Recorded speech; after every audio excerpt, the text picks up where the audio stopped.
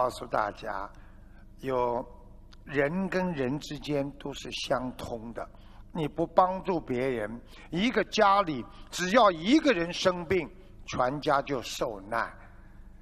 举个一个寓言故事，有一只老鼠，它呢在墙上一个洞，看见主人呐，这个农夫啊和他的妻子啊正在摆弄一个捕鼠器，就是一个抓老鼠的一个机器。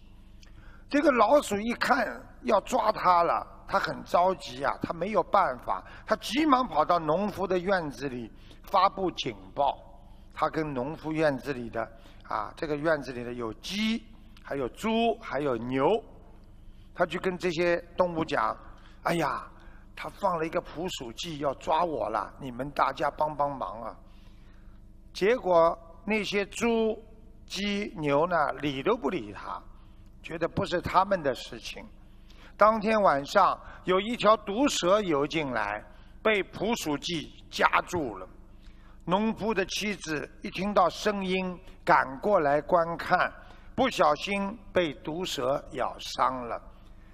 这个农夫为了给住进医院的妻子补身体，把鸡杀了。邻居和朋友听说此事。纷纷轮流到医院、到家里去照看这个他的妻子。为了款待邻居们的热情，农夫又把猪杀了。后来，农夫的妻子毒死、毒发不治身亡，很多人前来参加葬礼。于是，农夫又把他的牛杀了。一个小小的捕鼠器。境内的猪、牛鸡全部失去了生命。这个小小的典故说明，佛法认为任何事物都有其他事物与着面密切的联系的。想一想，对不对？啊，一个啊，一个啊，我们上次到啊那个新加坡去，啊新加坡去。那个马来西亚的山火，结果让新加坡的天空乌云密布，全部都是烟呐，都要戴口罩的。